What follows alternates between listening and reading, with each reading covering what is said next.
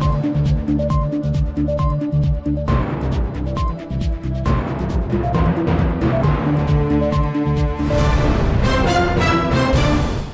Подільський зоопарк запрошує охочих допомогти у будівництві вольєрів. Служба безпеки України ідентифікувала ще одного окупанта, який віддавав накази на незаконне затримання і катування цивільних жителів на території тимчасово окупованої Херсонщини. Це новини Вінниччини і розповідаємо про найцікавіші події з життя регіону.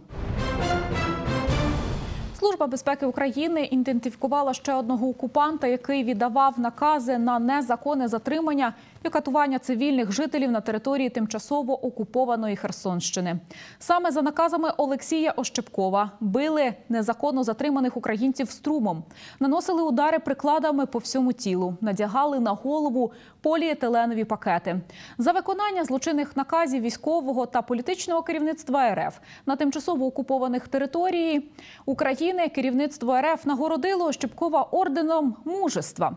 Більше про ситуацію запитаємо в речника Служби безпеки України у Вінницькій області. Денис Закаблук з нами на зв'язку. Пане Денисе, розкажіть, будь ласка, детальніше, ким виявився окупант та які протиправні дії здійснював. Цього разу СБУ ідентифікувала ще одного окупанта, е, за наказами якого катувалися мирні мешканці на територіях тимчасово окупованої Херсонщини.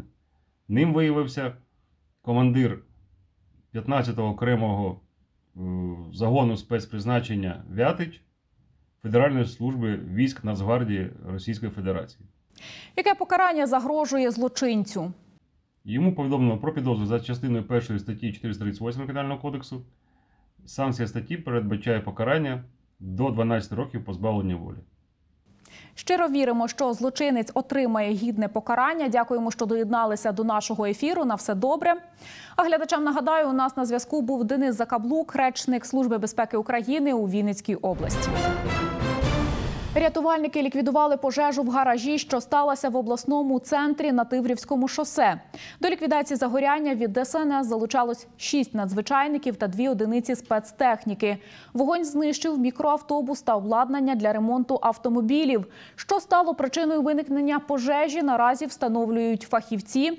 На щастя, ніхто з людей не постраждав. О 10.52 до служби порятунку 101 надійшло повідомлення про те, що на старому місці зайнявся гараж. Прибувши на місце пожежі, рятувальники встановили, що площа загоряння близько 100 квадратних метрів. Оскільки в приміщенні гаражу зберігалися легкозаймисті речовини, вогонь дуже швидко поширився та встиг знищити мікроавтобус. Ліквідовано пожежу було шістьма рятувальниками на двох одиницях спецтехніки. Що наразі стало причиною виникнення загоряння, встановлюється фахівцями. На щастя, ніхто не постраждав, е, травми не отримав. Сьогодні, 22 лютого, відбулось засідання Вінницького апеляційного суду щодо підозрюваного у завідомо неправдивому повідомленні про підготовку вибуху Вінницького ринку урожай. Як ідеться в матеріалах кримінального провадження, 11 лютого близько 20.30 чоловік зателефонував на лінію 102 та надав неправдиву інформацію про підготовку вибуху ринку. Про результати судового засідання питаємо в суді Вінницького апеляційного суду. Антон Рупак у нас на зв'язку. Мої вітання. Доброго дня. Розкажіть, будь ласка, за які дії затримали підозрюваного? Ну, дійсно, згідно оголошеної слідчим підозри, е, особа 11 лютого біля 20.30, е, позвонивши на лінію 102, надала завідомо неправдиве повідомлення про підготовку вибуху е, ринку урожай на вулиці Пирогова.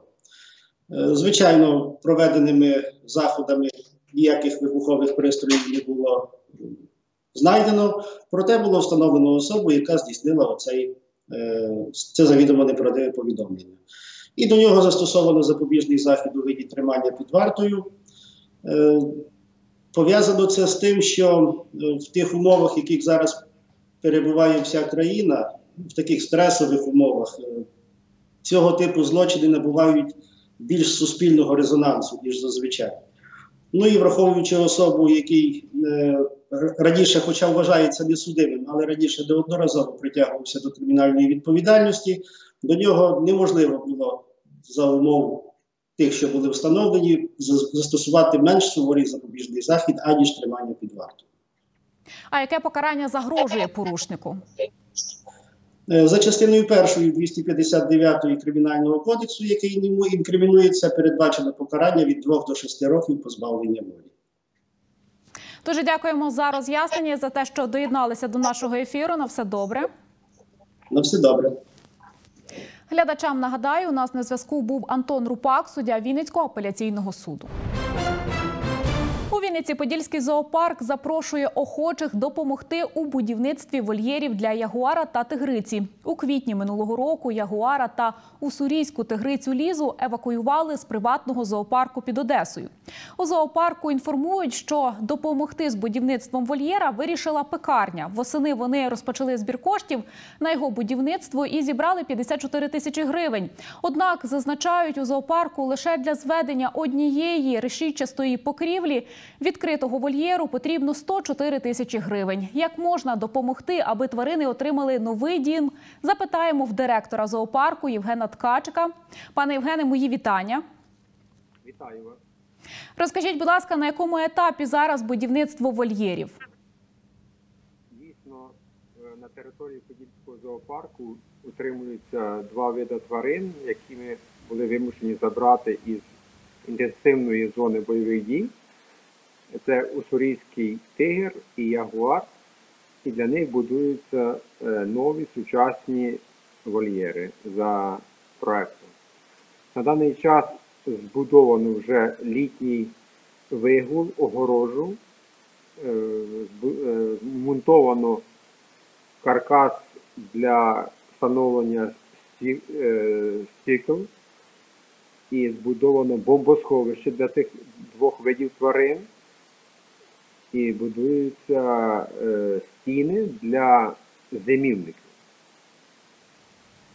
Розкажіть, будь ласка, якої допомоги зараз потребує зоопарк? Куди можна перераховувати кошти на зведення нової домівки для тигриці та ягуара? Ми звертаємося до всіх небайдужих, кого є можливість допомогти на будівництві цих двох е, таких е, великих е, вольєрів сучасних.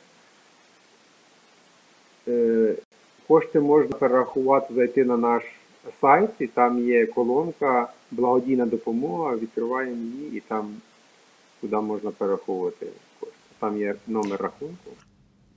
Ще скажіть, будь ласка, яка сума нині необхідна?